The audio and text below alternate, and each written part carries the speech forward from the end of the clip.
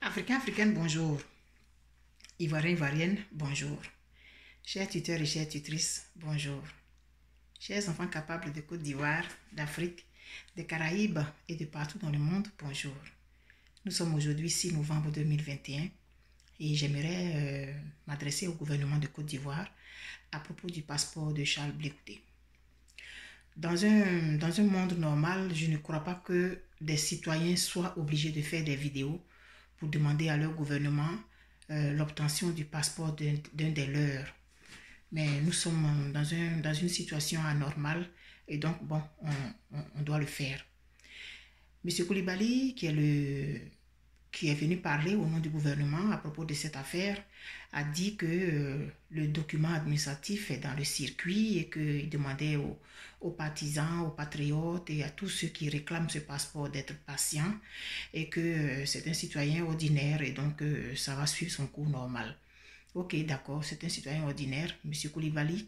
Moi, je vous dis que ce n'est pas un citoyen ordinaire parce que nous connaissons l'histoire récente de notre pays. Charles Blé n'est pas un citoyen ordinaire. Charles Blé il a été ministre dans le gouvernement du président Laurent Gbagbo. Charles Blé a été transféré à La Haye pour être jugé. Son procès a duré sept ans et il a été déclaré innocent. Ça fait de facto de lui un individu qui n'est pas du tout ordinaire. Et je pense que pour montrer patte blanche, pour montrer votre bonne foi, ça ne devait même pas arriver jusque-là. Parce que vous, en tant que pays, en tant que gouvernement, en tant qu'entité, euh, vous avez transféré un individu que vous avez euh, présenté comme étant dangereux et tout et tout, et la justice internationale a trouvé que il n'est pas ce que vous avez dit. Logiquement, vous devriez mettre à sa disposition des mécanismes pour qu'il rentre dans son pays. Mais on va vous supplier pour donner le passeport ordinaire d'un individu. Vous trouvez ça normal? Est-ce que vous pensez à l'image que ça renvoie au, reste du monde, l'image que la Côte d'Ivoire envoie au reste du monde? Ce n'est pas bon pour nous, ça ne fait pas de la bonne publicité. Est-ce qu'on a besoin d'aller devant des ambassades pour réclamer le, passeport d'un individu?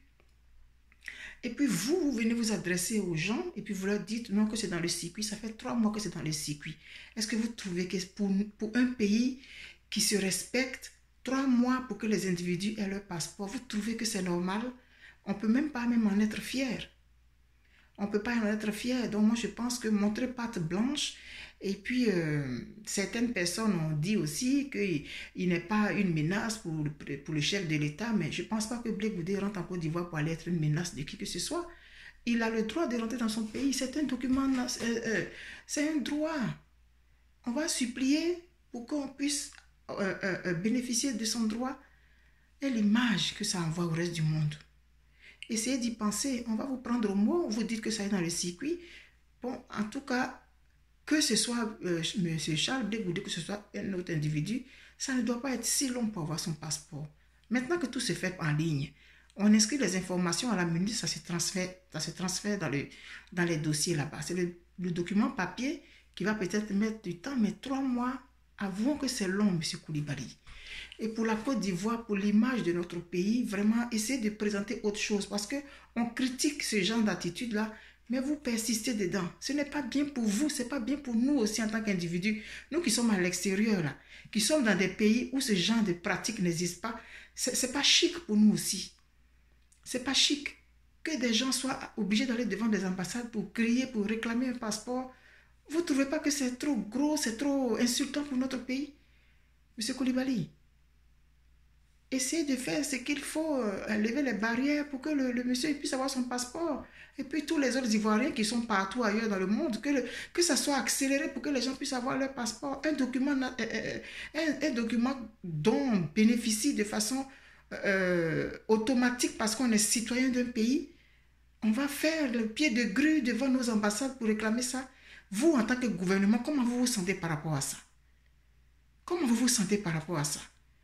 On critique ce genre d'attitude-là, mais vous continuez dedans. Ce n'est pas bon pour notre pays. Ce n'est pas bon pour notre pays. Donc, vraiment, accélérer la procédure pour tous les citoyens. Accélérer la procédure et puis montrer patte blanche et puis montrer aux gens qu'il n'est pas une menace pour le chef de l'État parce que dans tous les cas, lui ne va pas en Côte d'Ivoire pour aller menacer qui que ce soit. Il veut rentrer dans son pays parce qu'il a été innocenté. Vous pouvez lui permettre ça? Merci.